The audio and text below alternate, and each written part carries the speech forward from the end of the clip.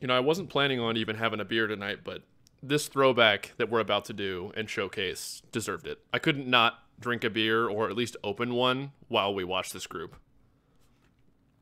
None for me tonight. Rocking the honey lavender tea, which is uh, very nice. Hey, when you got a sore Local throat, you got a sore throat. I mean, what are you gonna Yeah. do? it's that time of year. We're But holding it down. We are watching 27th Lancers. We mentioned it at the end of our Scout So 5 video. Go watch that if you haven't yet. That drumline and percussion ensemble was phenomenal. Uh, ironically, I just saw that apparently the same day we dropped that reaction video of the show and judge tape, like the Drum Corps International channel released like the lot, lot video. footage from that DVD Yeah. or whatever from that year. I'm like, why couldn't you all have done this like two days ago? Well, yeah, it's fun. I have that DVD, but I, yeah, there's like a few other groups on there. Um, them, I want to say Bluecoats, Cadets, maybe Phantom. Um, Yeah. it's a great DVD, but yeah, it's pretty cool. But uh, welcome to Aged Out Reacts, everyone. I'm one of the hosts of the Aged Out podcast, Michael Fantini, and with me, as always, is Evan Worrell. go over to Facebook, Instagram, follow us there, patreon.com slash aged out podcast, or hit the join button right here on YouTube if you want to support us financially at all, and never miss an update about content we're putting out, things we're doing, stuff we're covering. Uh, subscribe, comment, like here on YouTube, of course. Uh, stoke that algorithm, or just let us know what you think. Because honestly, I hope a lot of people have good opinions, or just like give it up to this group because not only was the 27th Lancers in 1984 phenomenal, it's one of the highest finishing percussion sections, despite the corps being in 11th. Yeah, I'm pretty sure I looked it up. They, they were in 11th in the ensemble finished, The percussion ensemble finished second. Yeah. So second from an 11th place drum corps. Now, granted, it was the early 80s, a different time of the activity, but still, I mean, there's Yeah. times they're on mylar heads for the snare line. Like, there's times it's it. You close your eyes and don't watch. It sounds like one person playing on one mylar drum. Like it, it's nasty. Just ripping some of the rolls with just the quality and beef, digging into the drums. Is the quads play like that? Uh, the snares do. It's incredible. Yeah, just the amount of chops it takes to muscle through a lot of that stuff. Just obviously the efficiency of the drums is not what it is in modern today. Um, so just being able to have the beefy sound quality really playing in, digging in, just it's great. Yeah. So unfortunately, obviously, the video is from the finals run um, from 1984. It's not the best video quality. You got to work with what we got. Uh, it is the finals judges tape. We didn't do the entire show. We just clipped like a three and a half minute segment. I had to work some magic with like the speed of the video versus the judge tape because I guess uh, I'm sure as The this stuff gets uploaded, yeah, the conversion process from analog to digital probably screwed it up somewhere along the line or whatever, or sped it up or slowed it down. But it's a three and a half minute clip. It's like a jam session in the beginning with an interlude that kind of focuses on the front, which is kind of cool to see the old school front ensemble going to town. And then it goes right into like their percussion feature where they're up front and center just throwing down rolls and all kinds of stuff. So uh, I also left his little intro on the tape at the beginning because it's just cool. Listen to him introduce himself and stuff and take you back in time.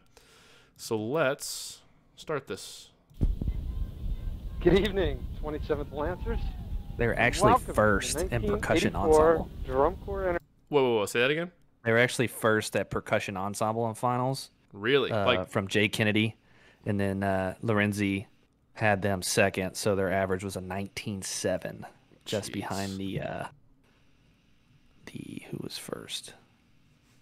Uh, Blue Devils looks like. uh, that was that era of Tom Float where they were Right, probably right, kicking right. everybody's oh, ass. probably doing that like three Pete or whatever. I think that's right in the middle of that beginning, somewhere involved with that. But somebody correct us in the comments if we don't know our history well enough. All right, started this over. Let's uh, watch this little segment.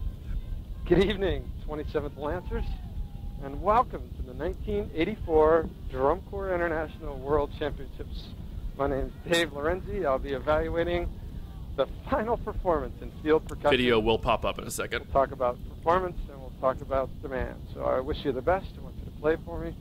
Relax, have a good time. Be with you in a second. Performance and Hey! demand. There we go. Don't get those. Don't get that demand word on tapes anymore. This bongo player's awesome. Yeah! Congas, whatever the hell it is. I, I have to back up. I was He waiting for pointed that. back at the drum line. He's like, he points back at the tenors as they have that like end of phrase little like sec Okay, okay. uh like ending or whatever. Watch this. He's playing those those scrapes. Boot, boot. Yeah! Yeah. Listen to those rolls. Oof. Watch quality. Eat it, eat it. Uh huh. In there.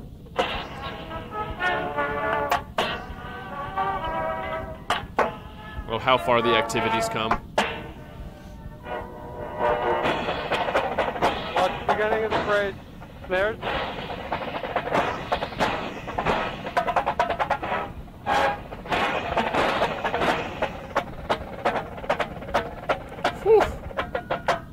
Ooh. Dude. Yeah,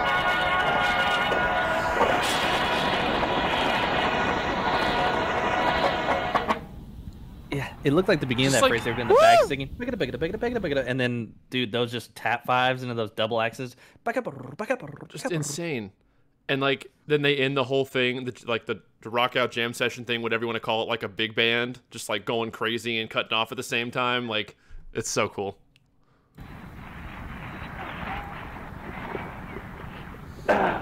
Where's that hook? Right in there.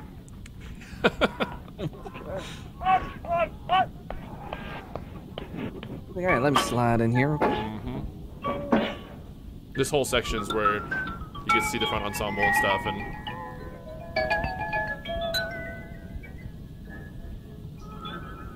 Dude, dude, sharing a Xylo, like,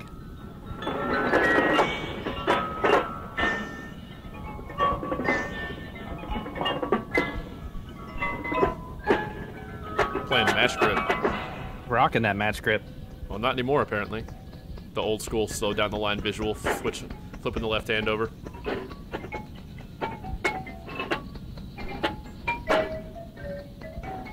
Look at the quads back there. Just...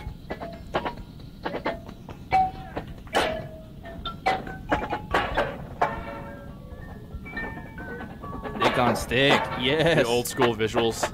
Watch the flam, the uh, drag right in the switch.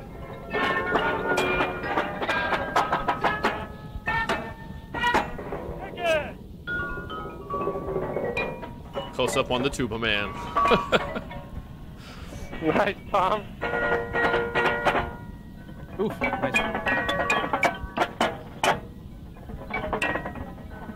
Also segmented.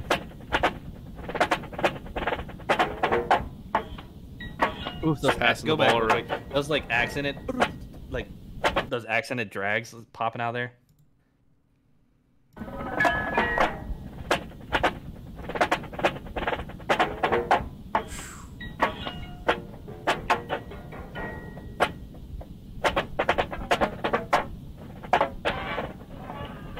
Getting so quiet right there.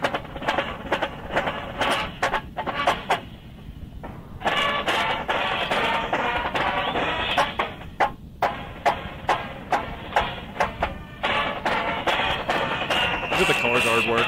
Holy crap. Apologize to everyone's ears for that whistle.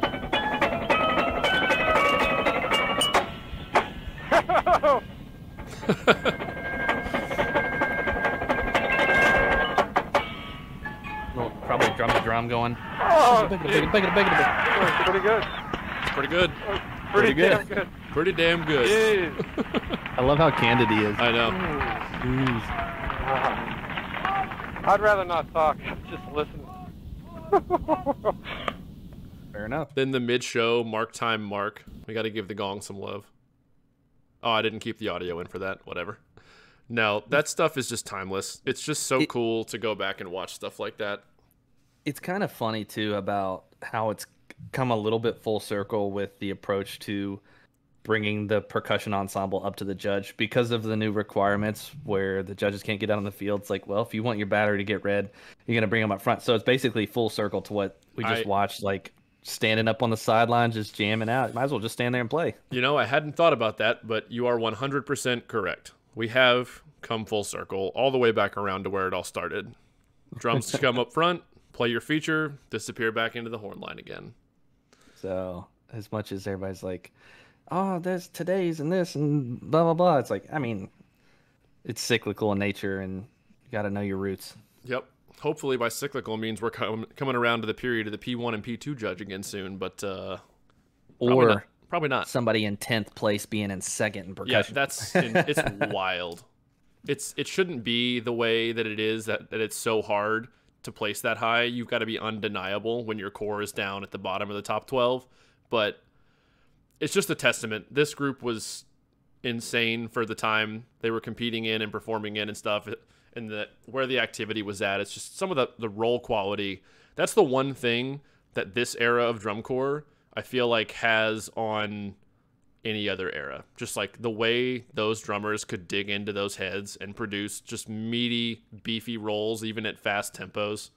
It's chops in a different way. Like now people have like not to go podcast mode, like hybrid rudiment chops. Yeah. Um I, And- I would say versus then it was like strength chops. For sure. And I mean, even with the way you approach like rolls in the modern activity, indoor and outdoor, like it's much more of a buttery smooth approach where you like pure relaxation, let the head work a lot for you, just manipulate the rebound right. and let the stick breathe instead of like you just said there's a lot more muscle involved and a lot more like just playing through the head. Now it's and- I, I prefer now honestly as a performer because it's easier on the elbows, the wrists, the arms, like They probably would too. They just didn't have the drum technology For sure. Shells and the the rims and stuff. So I mean, as technology gets better, the activities move to where it has in the playing approach for a reason. So, all right, not to get too Yeah. podcasty, let's wrap this up. The short little video today.